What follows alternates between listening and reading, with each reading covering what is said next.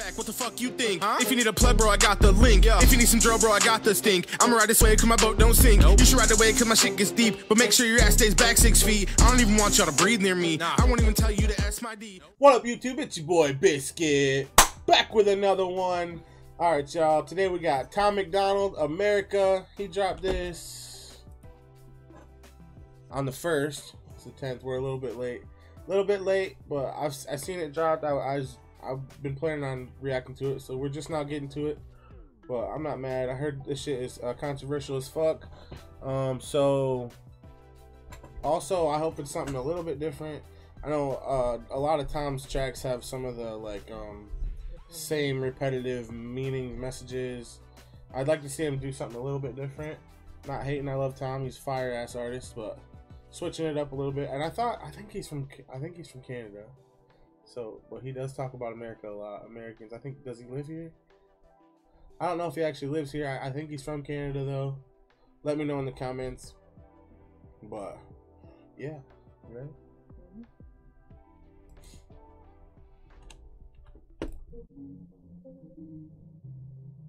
Lately, USA is getting scarier. Half of the Americans I see all hate America. They hate the cops doing their best to take care of us and kneel for the flag and salt the soldiers that we're burying. I'm tired of the pissing and complaining why you living in America if all you do is hate it. You think it's brave to take a stand against the nation? Real bravery is dying for the right so you can say it. Dear America, what happened? Ooh, facts. Dying for the right so you can say it. Ooh, Tom spitting facts on this one stand against the nation. Real bravery is dying for the right so you can say it. Dear America, what happened to Americans? Apparently no one's aware or cares that it's embarrassing. It's arrogance. Our greatest enemy was always slavery and terrorists. And now it's people in the country trying to burn the heritage.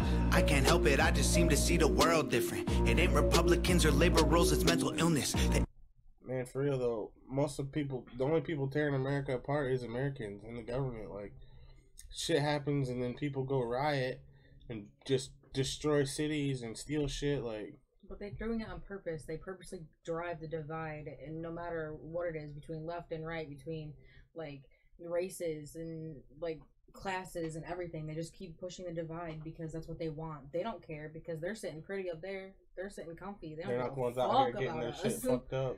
They don't care. It's not affecting them. But like if you want to send a message burning your own city down is not the way to do it. You know what I mean? Like that doesn't make sense to me. Mm-hmm. Can't help it, I just seem to see the world different. It ain't Republicans or liberals, it's mental illness. The internet is only interested in left opinions. Cancel culture's got more power lately than the First Amendment. If you don't like it, leave. We will not defund police. We don't want no riots in our neighborhoods or in the streets. We respect freedom of speech. We protect what we believe. We don't want nobody dead, so please do not tread on me. In America, your freedom ain't free. In America, got soldiers dying overseas. So America,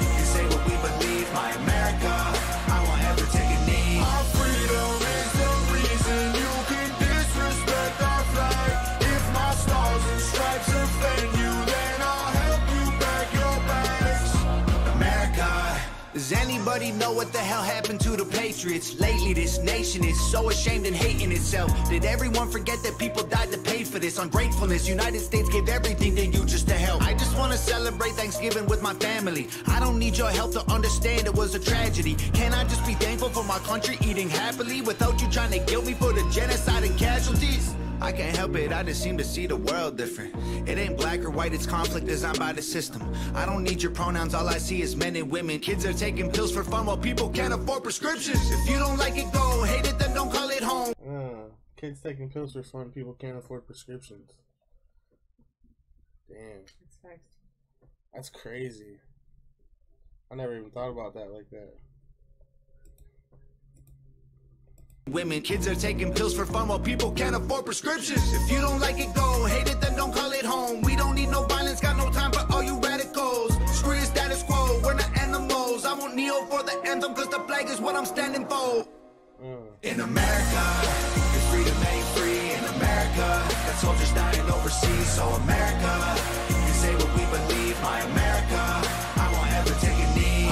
Like, I know, like, I understand why they were kneeling, but I feel like the disrespectfulness of what of soldiers that have fought and died from kneeling during the national Right. anthem is like, and like I understand the message of why they were kneeling because there is a problem in the country right. and there is a, a racial divide and I get that, but at the same time, the disrespect to the soldiers that have But- gave us the freedoms we have. So I see it from that point of view too. In a long time, I was mad about the whole kneeling thing because it is extremely disrespectful. But on the other hand, like I know people who've served in all the different branches, and like some of them are mad with a bunch of other people, but then some of them are like, that is part of the. They they do have the freedom and the right to do that. That that is one of their freedoms. Like they do, it is. That's facts They too. do have Like the right it, to do it- that. We did fight for them to be able to kneel during the national anthem. Like that's facts too. But- so. that statement obviously didn't go anywhere. Didn't and people still do it. But that statement, I don't know. It's just not doing it. I feel like this song would have been a lot more impactful if it would have came out when like that whole Colin Kaepernick thing was going on, like him kneeling during the NFL games and stuff. Like I think he's the one that started it, right? Yeah. This would have been a lot more impactful then, you know, because it keeps referring back to the kneeling for the flag. Mm.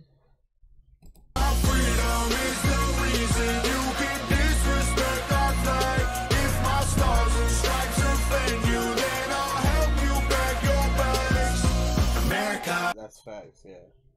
People are allowed to do that because this is a free country. You can do that.